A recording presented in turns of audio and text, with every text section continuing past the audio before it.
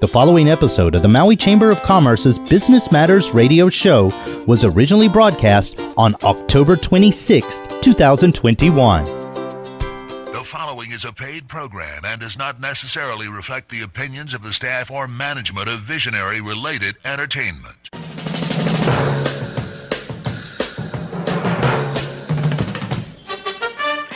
Aloha Maui and welcome to the Maui Chamber of Commerce's Business Matters radio show, sponsored by Mokulele Airlines. I'm your host, Pamela Tumpap, president of the Maui Chamber of Commerce, and today we're going to talk about Mokulele, Mokulele Airlines, about their experiences on reopening and continuing to operate, cancellations due to governor's message, and any news and updates as we gear up for the holidays. We're going to speak with the executive director of A3H, which is an activities association, on experiences their industry has faced since COVID, and speak with a second generation flooring installer who's been working in the trade from a young age and now owns his own company, as well as talk about this Saturday's virtual Made in Maui County Festival. You can sign up now at madeinmauicountyfestival.com. But let's begin this morning with Keith Sisson, the Chief of Staff of Mokulele Airlines. Keith is also the co-founder of Southern Airways in 2013.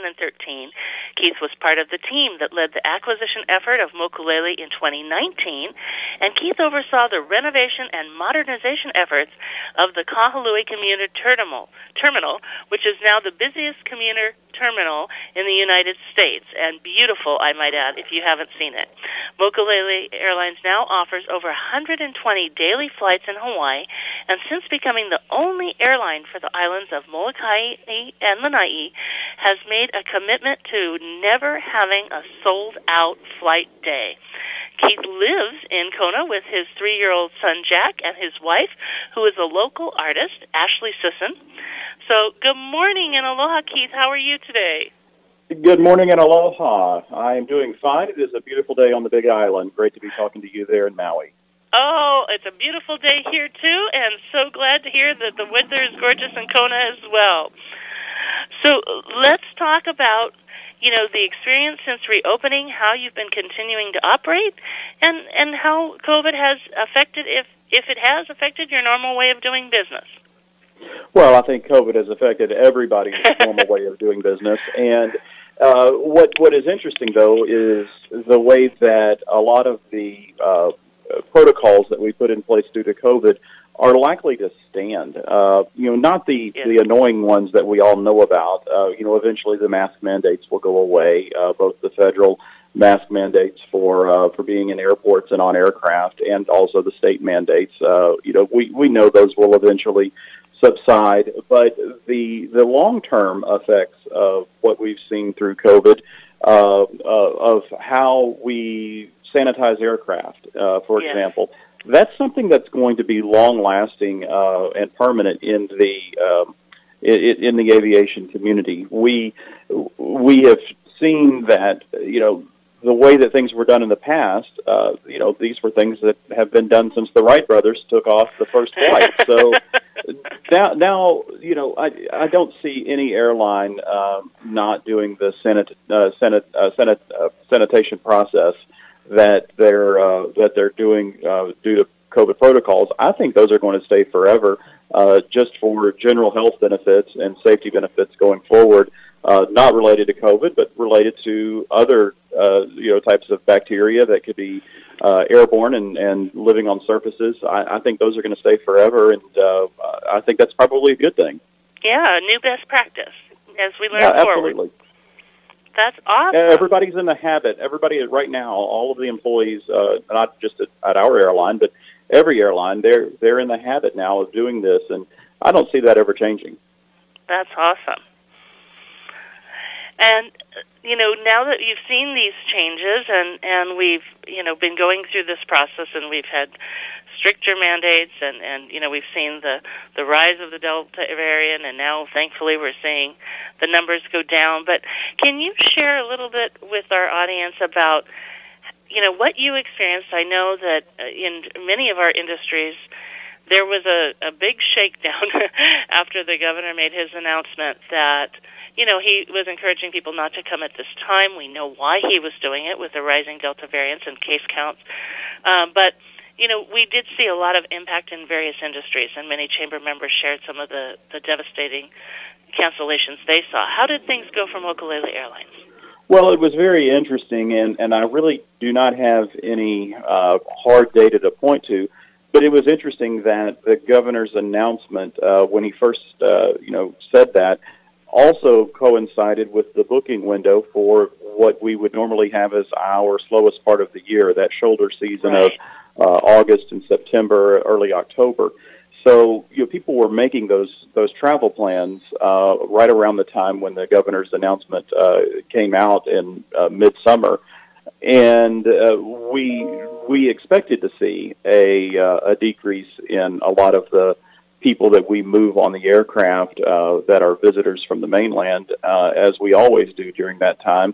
Uh, so actually, the uh, if you look at the the booking curve, everything pretty much stayed about where we expected it to be, regardless of that announcement. So uh, I'm thankful that that announcement did not happen in early summer or late spring, uh, because that definitely would have had a devastating effect on the uh, on the summer travel that was uh, that was pre-booked. But I, I do think that uh, we definitely saw a, a decrease. But I'm not saying that that decrease was directly associated with the governor's mandate. Uh, a lot of it was was circumstantially seasonal anyway. Correct, and yeah, and that's good to hear because we have been hearing that as well. I mean, the timing was just before the shoulder period. Um, many of our businesses were tracking what the messages were, which was, you know, if they said, you know, it's it's um, rising case counts, you know, that would be one thing that they would kind of tick off. If if it was specifically the governor's message, they would tick that off. And then, as as you point out, the shoulder period is is always with us every year. so, you know, not not related to the specific messaging. That's just the way the market trends go. But I'm glad to hear that that it wasn't a significant impact for you. Um, it, it, it was it, it, it was not a significant impact. Uh, of course, uh, the governor has become very good at making national news uh, yes. whenever he, he chooses to. Uh, so just as that made national news uh, back in uh, the, the midsummer when that announcement was made, just a few weeks ago, it was national news when the governor uh, went out and said, "Hey, come on back to Hawaii. We are open," uh, and that that was uh, very helpful. And we're hoping that that will uh, be directly reflected with the uh, forward bookings going into the holiday season. We certainly hope so as well. Uh, we're we're working really hard to see that, and and we're really excited about you know moving forward. Everybody wants to move forward, and uh, glad that the governor made that announcement. Glad that it's getting the national attention as well, and I think it's really incumbent upon all of us to, you know, change um, the messaging in social media. Again, support the governor in that message, support the businesses, and support you know reopening and welcoming our guests back. This is the time when they start to now.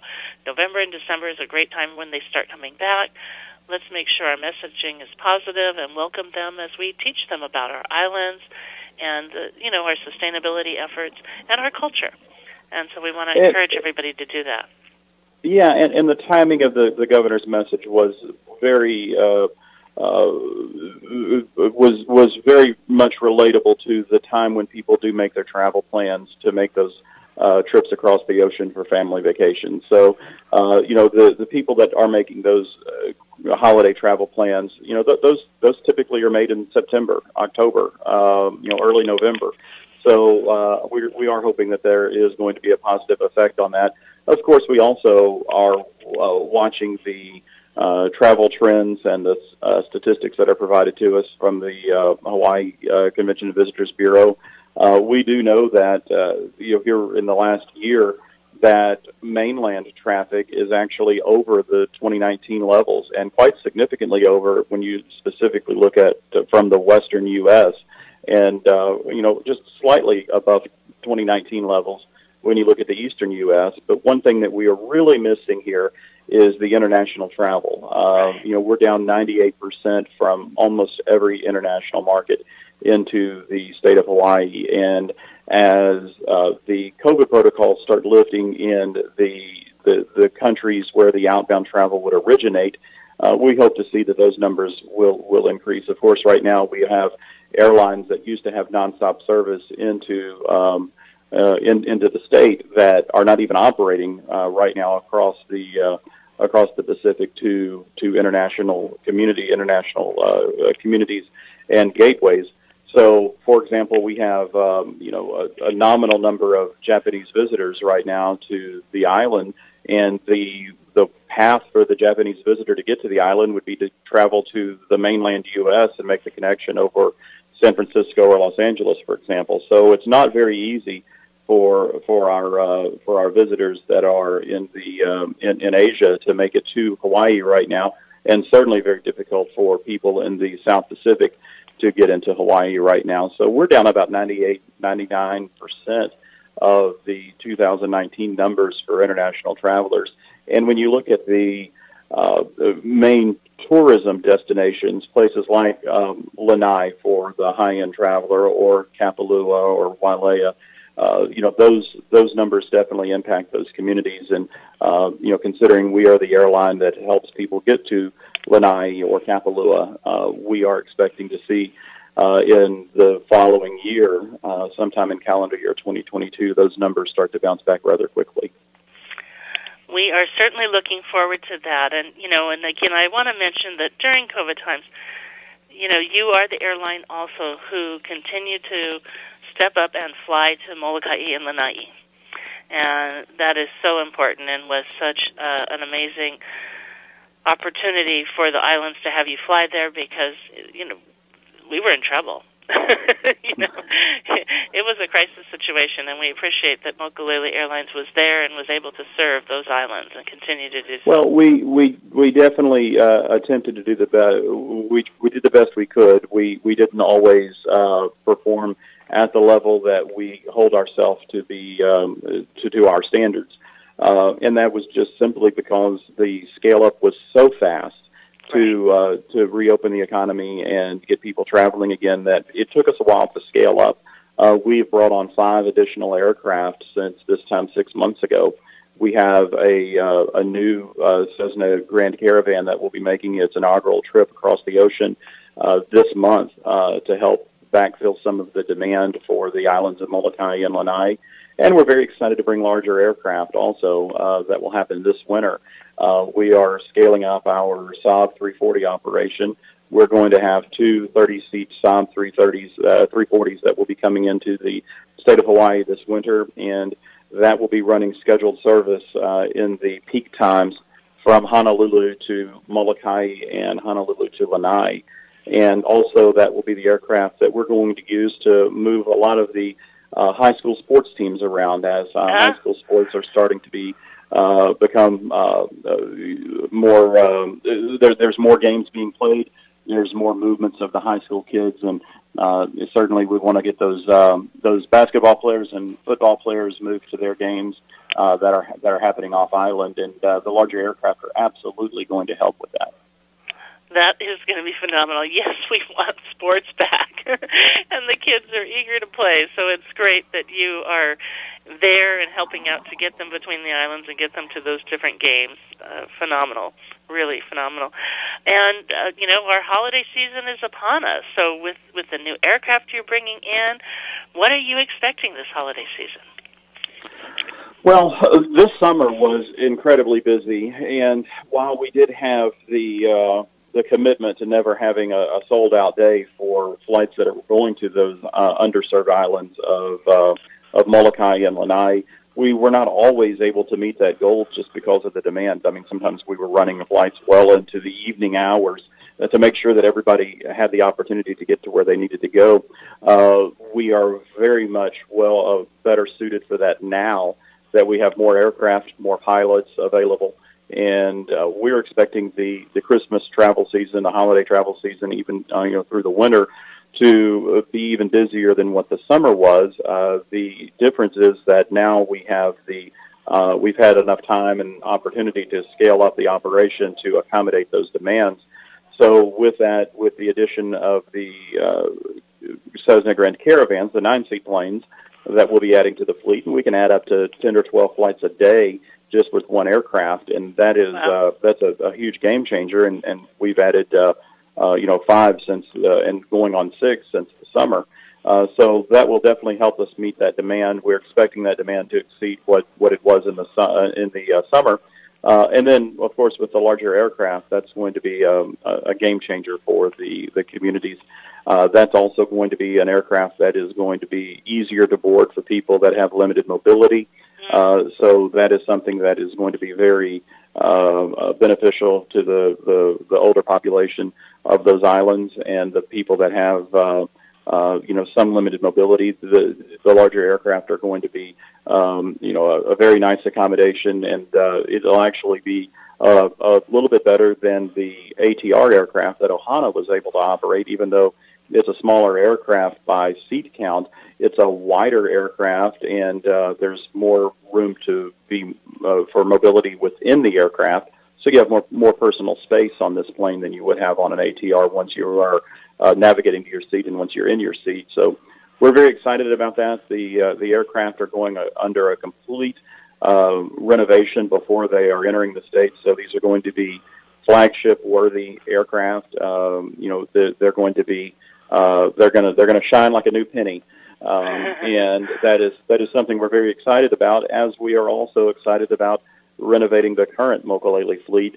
Uh, we have been uh, rotating all of our interiors through uh, an upholstery shop in Honolulu, and so far we have uh, updated the interiors of 25% of the Mokulele fleet, and throughout the year 2022, we should have that process completed. And we Wow. have uh, slots booked with uh, with uh, paint shops to get the uh, the exterior of the aircraft uh, refreshed, and we we think that uh, people are going to start seeing and noticing all of the uh, capital improvements that we've made in the aircraft. Uh, If they haven't already, they're certainly going to see it when the the new paint um, you know gets on these aircraft and everything starts to really look new again. Um, you know, look, we've we've been operating, uh, you know, through COVID with um, with kind of a, a skeleton crew and uh, um, you know, a kind of a, a limited number of aircraft, and we scaled up very, very quickly to be able to meet the demand.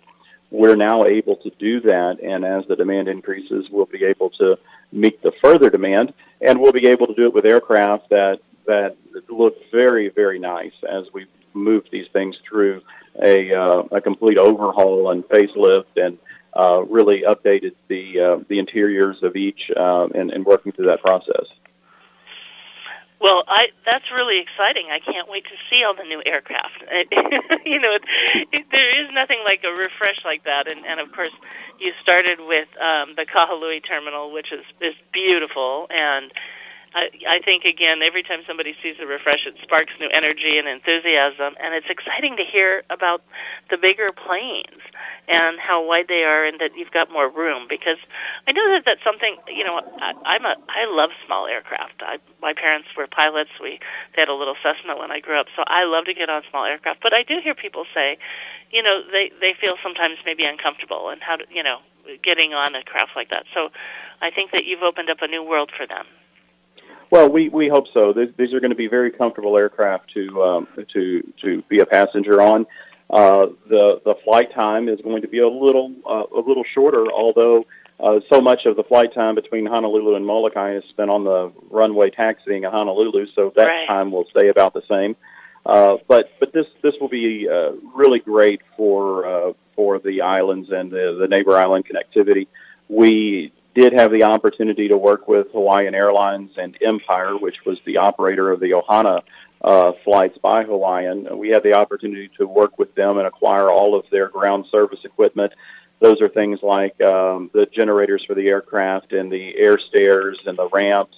So we have all of that equipment that Ohana had, uh, you know, in place on those islands that is now in our possession, and we're in the process of um, uh, inspecting all of that equipment and uh, doing some upgrades and uh, uh, repairs and refresh on that, so that when the aircraft arrive, we have all of the equipment needed for uh, the people to uh, to take advantage of those larger planes. And that's something we're we're very excited about. That's uh, that that's something that Mokulele, uh, throughout its 27 year history, has had larger aircraft at different times, um, but not in the the recent history. This is the first time in well over a decade that we're going to see larger aircraft like that, uh, you know, fly in the Mokulele family. That is truly tremendous. I think that's awesome. And again, right in time, you know, this is we always talk about the visitors, but the holidays are upon us, and this is our time to fly and go from island to island and see family and friends around the holiday season. So it's it's a spectacular thing that you've been doing and continue to do to service our our entire state and of course our Maui County community. Well, and and our focus has always been on the the local population. Uh, it's it's nice to have people uh, visitors on the aircraft, of course, uh, but they're they come to town, they they spend their money and they leave, um, and that's a that's a great thing. We we we're very thankful for that business and uh, and we welcome that. But we we have always made our core business uh, being able to connect people to the neighbor islands, and um, you know there's so many people that that use Mokulele on a on a daily basis, even uh, to commute to work or to commute to doctor's appointments. And just a, a few uh, months ago, we did an impromptu survey on a Monday morning, and our first 17 passengers of the day that were going from Molokai to Honolulu were going for medical appointments.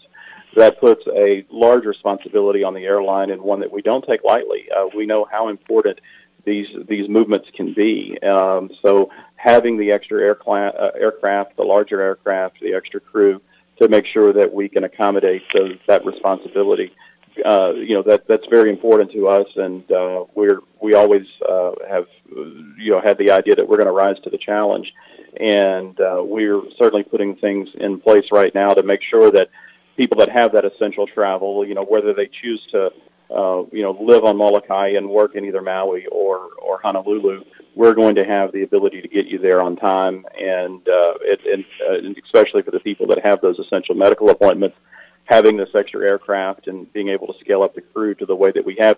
We put uh, we put almost 180 pilots through training in the last 12 months. So wow. I mean we're we're really uh, really ramping up the operation. We are so excited. Keith, thank you so much for joining us this morning. Thank you to you and Mokulele Airlines for all you do in our community and for sponsoring this show. We truly appreciate you. You are great community partners, and we look forward to seeing the amazing refresh, the bigger planes, and continuing to enjoy the awesome service that you offer. Well, thank you so much for having me. It's an honor to sponsor this program, and thank you for mentioning the uh, the Kahului terminal a couple of times and the renovation and facelift that we did there. It's absolutely beautiful. I'm very very proud of it. We are taking that same concept to the island of Molokai next, and hopefully before the end of this year, we'll have a, a complete refresh on the airport terminal on that island uh, to look very similar to what we've had, uh, what we did in Kahului. So always improvements, and uh, thankful for the support of the, the local political leaders that are allowing us to, to make these improvements for the people. We, we, can, we we all need to do it together, and so yes, we want to thank our government officials for helping us move forward and helping Mokulele Airlines. Well, you have a beautiful day. Thank you so much for having us on. Our pleasure. Thank you for being on. Aloha, Keith. Mokulele Airlines operates the largest commuter airline hub in the country, right here in Kahului. Fly Mokulele from Kahului to Molokai, Lanai, Hana, Waimea, Kona, and now Hilo. Mokulele also operates the only flights between Kapalua and Honolulu. There is never a middle seat on Mokulele, and every seat has a window and aisle. Visit MokuleleAirlines.com and take your next flight from the newly renovated Mokulele Terminal. And we are back. If you're just tuning in, this is Business Matters brought to you by the Maui Chamber of Commerce. I just want to make a quick plug because this is the holiday season and a time for giving. And one of the ways that you can help right now for a group in need is to donate any old computers or laptops or iPads that you may have uh, because we have people who are working very hard to train those who are wanting to upgrade their skills, who need digital literacy. It's a project through the Broadband Hui, and they're helping to train people who just don't have the computer skills right now, want to get back into the workforce, maybe upgrade their skills to get into better paying jobs, for seniors who want to connect with family and friends, for those who might need some medical attention or medical monitoring, which can be done through the computer, and uh, others who are interested in distance learning programs. So if you have an old computer, laptop, iPad that you're not using, it's just sitting somewhere in your house or your garage, please pull it out. Please contact us at the Maui Chamber of Commerce. We're working with the Broadband Hui and a program where the state is helping to refurbish those computers. They wipe everything clean, they upgrade the memory, um, and then they get them in the hands of people in need. It's a great way to give this holiday season of something that you're probably not even using. And any donation is greatly appreciated. So you can call 244-0081 to make a contribution. Uh, we also want to share about the upcoming Made in Maui County Festival. We are on our eighth year and very excited to be holding the festival. The big festival day is this Saturday, You've been hearing it on this station as well as across our community. We want to encourage everybody to shop this Saturday from 8 a.m. to 4:30 p.m. There's going to be some great prize giveaways, a phenomenal uh, midday around noon. A musical concert that you can enjoy from local musicians, but we're really excited to feature the amazing products of our local manufacturers who are passionate about what they make through local hands and hearts they are creating awesome products for all of us to enjoy. And, you know, this holiday season, this is a great way to find great treasures for your friends and family, great gifts. Also, find things that you might want to enjoy year round. But shop local this holiday season. You know, this is where when we support our local vendors and our manufacturers and small businesses, that money recycles in our community over and over again. And this is a great way to do that online and be a tremendous support. So we want to encourage everybody to do that. If you are a wholesale buyer or distributor, we have a preview for you uh, from 11 a.m. to 4 p.m. on Friday. That's the wholesale and distributors buyers preview, and that is followed by a 4 to 5 p.m. networking session. So we want to encourage you to register online as well. So if you're a wholesale buyer and distributor, or you're somebody who's wanting to shop local and support some of our uh, local manufacturing companies, please just go to madeinmauicountyfestival.com. That's madeinmauicountyfestival.com for more information. We've got a lot of great things available for you, over 50 vendors, and um, just a great time to shop and experience all that we have to offer. What's happening now is, and we're very excited about it, is we wanted to do the big festival day live, and, and some people are asking, why can Honolulu do the Made in Hawaii Festival and we can't do the Made in Maui County Festival live? And, you know, it comes down to capacity and some of the issues that, um, you know, we've been facing with COVID, watching numbers go up, watching numbers go down, trying to work with government officials, trying to work with, you know, the medical institutions, understanding where things are at. And, you know, Oahu has a greater capacity over there. So they've got many hospitals where we have one.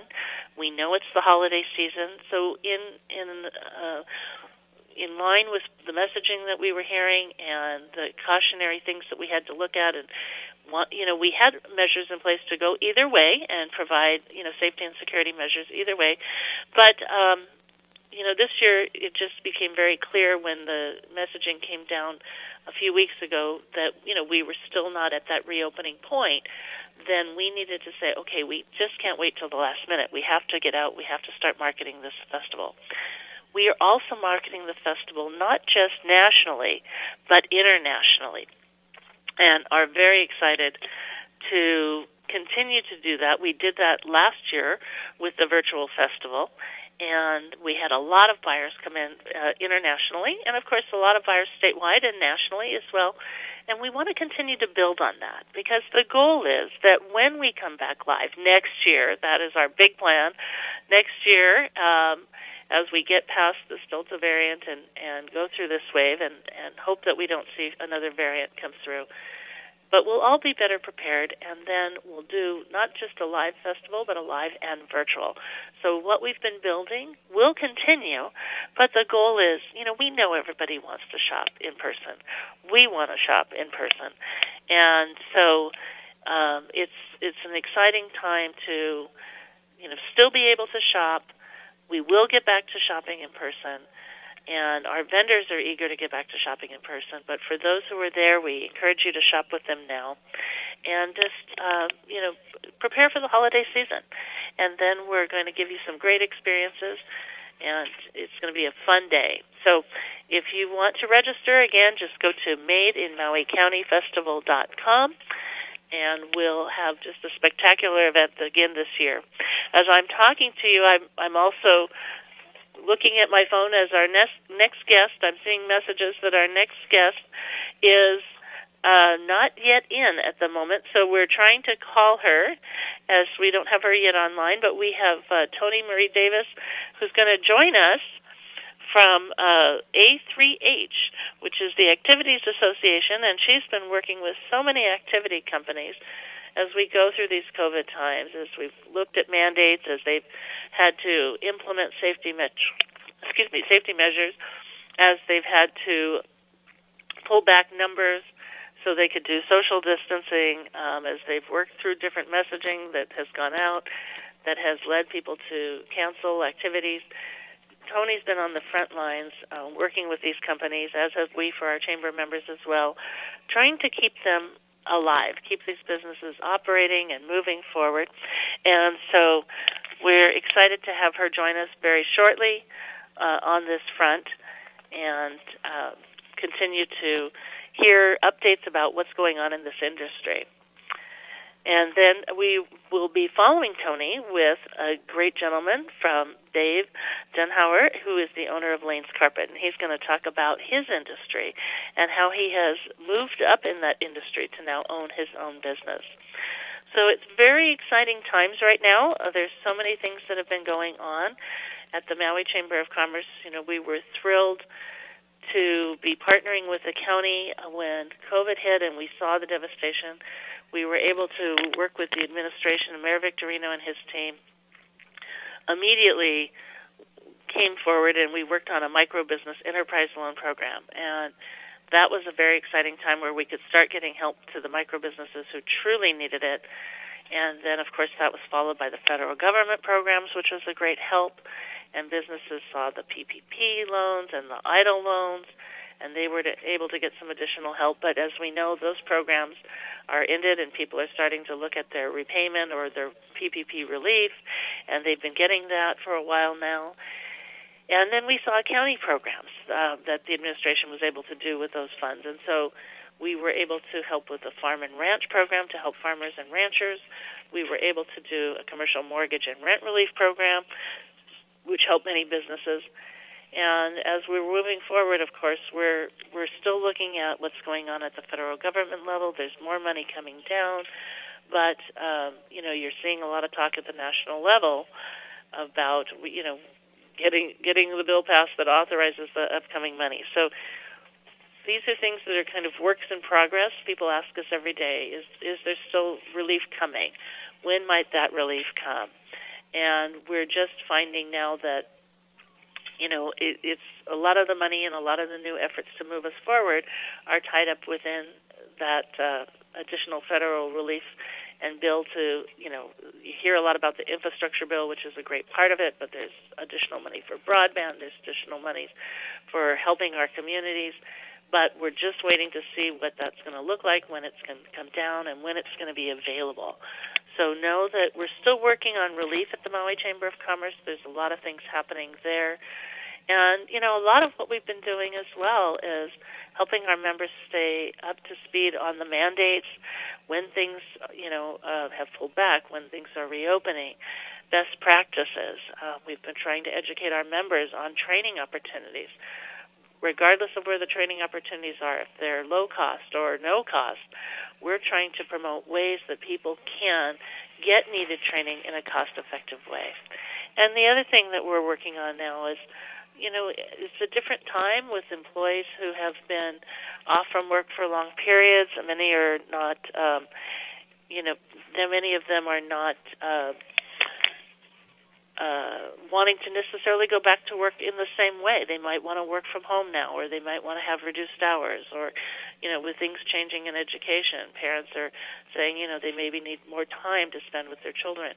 So there's a lot of things happening in terms of the workforce right now as well. Um, and businesses are looking at ways to accommodate in new ways that they've you know had never had to accommodate before but um now they've been working to you know, change some of the ways that they their business runs to help address some of the employee needs and and look revisit work schedules and make things work. So we're working on that front as well to give them tips and best practices and showcase new opportunities to strengthen that employee employer relationship.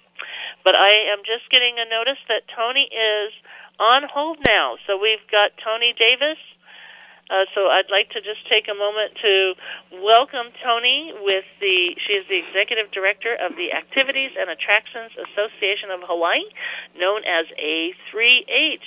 Good morning, Toni, and welcome to the show. Aloha, keha, keka. Oh goodness, now I'm going to mess it up. Keka hasiaka. Good morning, Pam.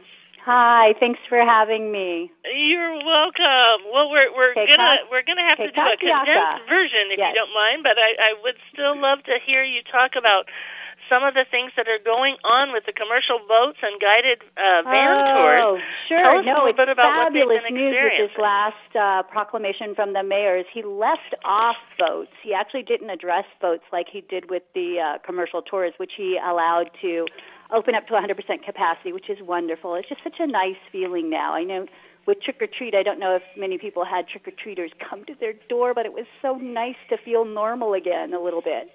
Um, Absolutely. So it's nice to feel that in the industry as well. The biggest uh, challenge right now for for the businesses in the tourism industry is staffing. It is really people are still, even though some of them will have no restrictions, they're limited because of they just don't have the staff. Um, it's very um, interesting what happened with the commercial boats too, because um, what the mayor did was they left off commercial boats. They actually didn't address it like they did with the um, guided commercial tours. So there's a little bit of uh, ambiguity there with the uh, Department of Land and Natural Resources Division of Boating uh, that it's not clear. so the mayor needs to, the mayor's office really needs to make that clear to the state. Um, even though in some ways, you know, the jurisdiction really lies in the federal government with the U.S. Coast Guard because all the boats here are federally documented, right? It's it's it, you know it's one of those challenges of COVID, not knowing who, what, or where has the jurisdiction over it. But everybody wants to be a good neighbor and good community supporter and do the right thing.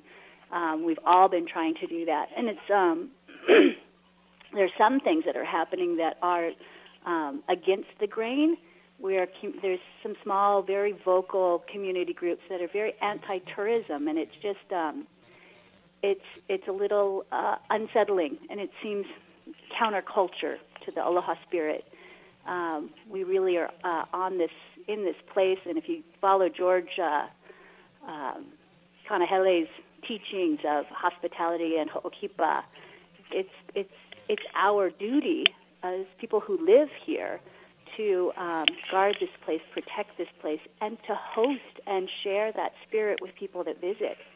That's part of what we're supposed to be doing. And granted, we haven't been doing the best job at management, which HTA has really shifted. Um, their whole focus now on regenerative tourism, not sustainable, but regenerative, which is leaving the place better than how you found it, is just really exciting.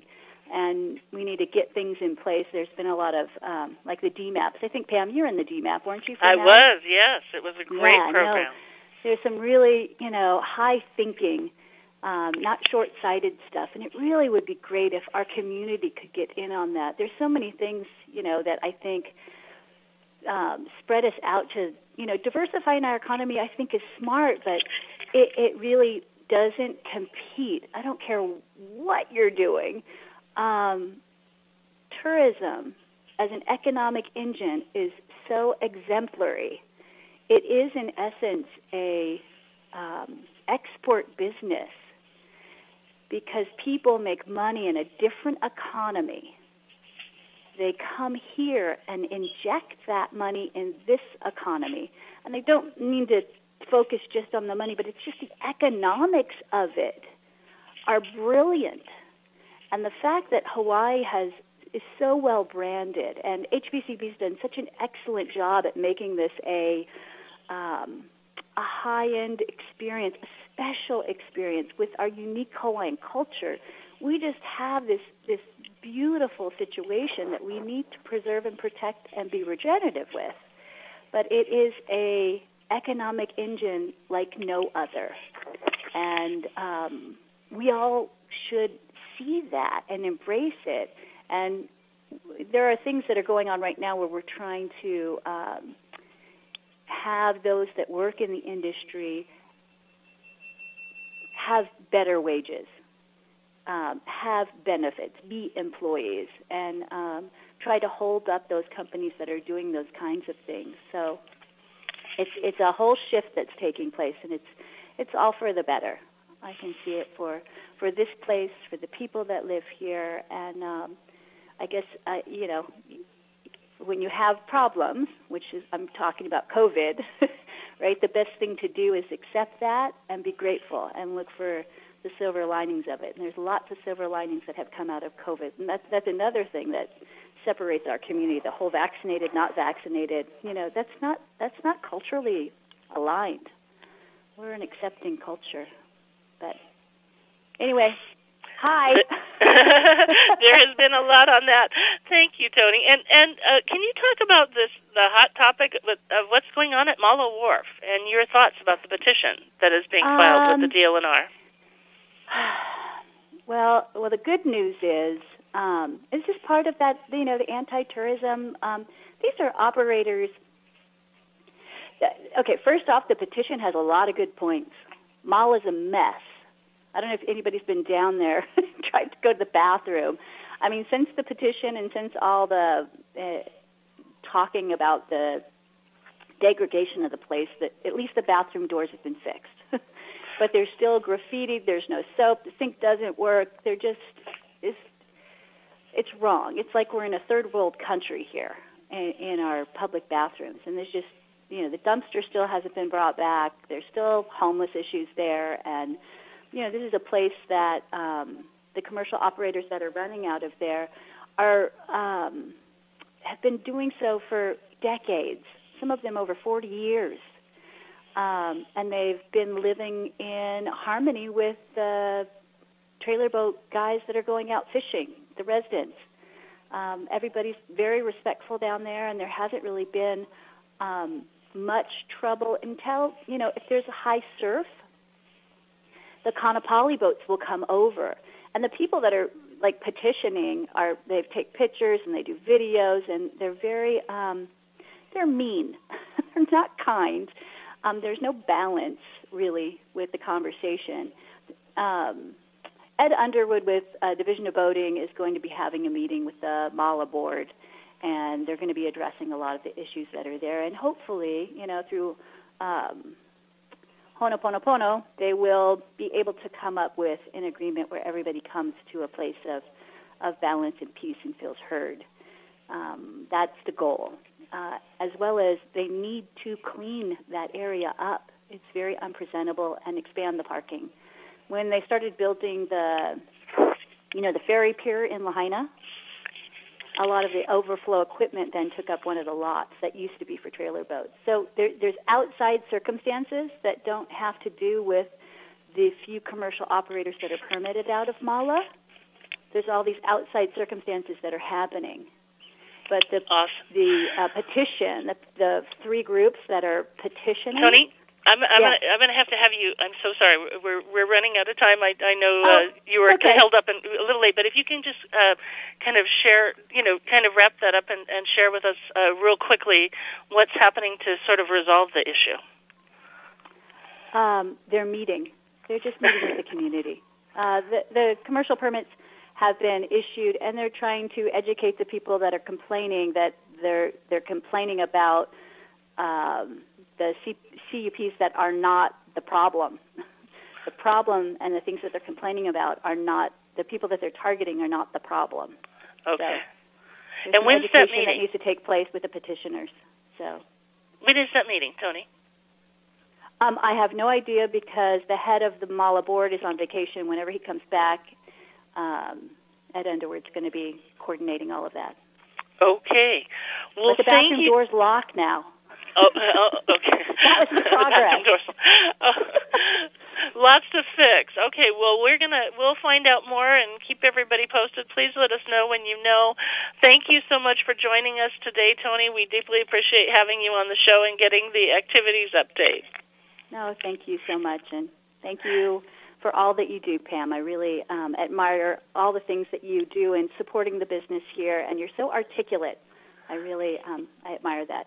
And oh, bless you. As are you, okay. and we admire all that you're doing as well. Thank you. Have a beautiful Maui day. We are now joined by uh, Dave Daunhauer, uh, owner of Lane's Carpet. Uh, Dave is a second generation flooring installer who started working in the business in his teen years and after continuing in the trade started his own business when the opportunity presented itself Dave uh, he excuse me uh, Dave purchased Lane's carpet about 5 years ago from Bill Lane who started the business in 1974 Aloha and good morning Dave.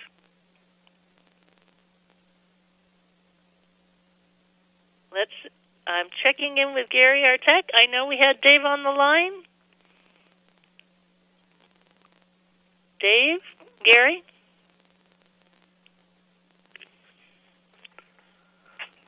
Okay, give me just a moment, folks. I'm going to send Gary a quick text and see where we've, we've got Dave.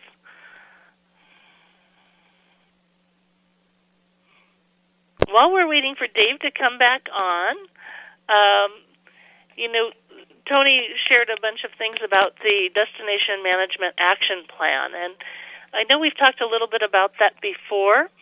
Uh, it's something that I had the pleasure of participating in with along with many amazing community leaders from all across Maui County. Uh, there were destination management action plans for each island, and I got to participate in the Maui Island Plan. And so um, it is a great work in progress to educate people about you know, our culture, our environment, our sustainability efforts, and move tourism positively forward in ways that we've been seeking for a while and help to better manage the industry. I understand, uh, I'm getting a new note that Dave is on. So, um, aloha, Dave, can you hear me? Yes, I can. Good morning, Pam. Aloha, good morning. Thank you for joining the show. So, I was just telling our listeners that you started out as a teenager uh, working in this industry, continued to learn the trade, and five years ago, you bought Lane's Carpet from Bill Lane. Tell us Correct. about that. How has that been? oh, it's been a huge learning curve for me. Like like you said, I start. My dad started off in 1974. Um, I started working with him as a teenager. Like you know, most people do with their parents. They end up going to do whatever trade job that that parent might be doing at that time, and just realized that I had a knack for it. Um, it's something I really like to do. The satisfaction of completing the job, knowing that it looks 100% different than it did when you got in, knowing the customers are happy with the product you gave them, really gave me that sense of accomplishment every day, which is kind of what I was looking for at that age. Um, and then as I kind of just went through my career as as my own contractor, I had the opportunity to purchase my dad's business and did so with huge shoes to fill. It's just it's been a real eye-opening experience and really interesting. We've done a lot of a lot of good work on this island and super happy with the decision I made to take over his company. Well, that is really exciting. I didn't realize it was your dad, given the difference in the last name. So, Yeah. Awesome. So uh, I love hearing when we've got generational family businesses where the the next generation is taking over for the past generation who's ready to move on and retire. So congratulations on that. Can you tell us we've got a couple of minutes. Tell us about the different products you offer and in carpeting and flooring and and new things in that arena. Yeah, so carpeting is pretty much the the way that carpeting is moving nowadays is going to really good stain protection or stain proof carpet what they're having out there right now. We sell Mohawk brand carpets. Um, and they've got an Everstrand and a Smart Strand silk, and basically they're really, really soft carpets. They don't feel as plasticky as the ones that were coming in before with the stain stain guard sprayed on top of the carpet. Um, the the stain protection is actually built into the fiber, and that's one of their their new pushes, and it it really works. We've seen um, ad campaigns for them where they basically had a rhinoceros living in a, a cage for over a month on the smart silk carpet, and they took it out after a month and power washed it, and it was back to brand new. I'm sure it didn't Wow. smell the best, but the color was there, the the fiber integrity was there. It, it was just amazing. That and is we've amazing. also, yeah, um, excuse me. The we also have LVP with luxury vinyl planks, which are everything on that product is going towards 100% waterproof products. So you're able to put it in your kitchens, your bathrooms, your entryways, places you weren't able to put your typical laminate flooring before. So that's pretty exciting. Well, I know you have so many beautiful things to offer our community as they're looking to build a new house or renovate their home. And tell people where they can find you and your showroom. Um, our showroom is at 530 East Oahe Way in Waikapu, um, at the very end of the cul-de-sac, right next to Pacific Source. Everybody knows Pacific Source. Um, so right next door to them, upstairs in our in our building, uh, showrooms up in there. We've got some samples. We don't have a lot of samples. We try to make sure that our selection is wide enough, but not so so wide that you get confused. It's, the products are really really good. We stand by the our products. We our distributors stand by the product they sell us, and they have so with my dad for a very long time. So we just, again, stay with a really small um, variety of, of flooring types. Well, that's phenomenal. And I know that you folks work with your clients and offer customized services and make sure that you're meeting all of their needs um, with everything done by expert installers. Correct. That's that's what we aim for, and it's really small family business. You know, we've we've got a small team of people that we use, and we've been using them for years. So, you know, when you call the office, you'll get pretty much the same person every time. If there happens to be an issue, I'm I'm here every single day. You know, whenever I need to be. If I have to go someplace on a Saturday or Sunday, that's what we need to do to take care of the customer. Uh, awesome, Dave. Well, thank you so much for joining us. Thank you for your tremendous service, making sure you uh, meet all of your customers' needs. That's all the time we have for Business Matters program today, sponsored by Mokulele Airlines. I'm Pamela Tumpap, president of the Maui Chamber of Commerce, wishing you blessings and best wishes for a beautiful Maui day.